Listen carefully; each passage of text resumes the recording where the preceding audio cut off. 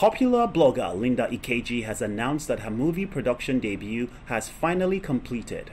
Dark October is a true life horrifying story of four students of the University of Port Harcourt who were killed by a mob on the 5th of October 2012 after being accused of thefts. The lynching sparked a nationwide outrage. Dark October will be a digital release set for the 3rd of February 2023.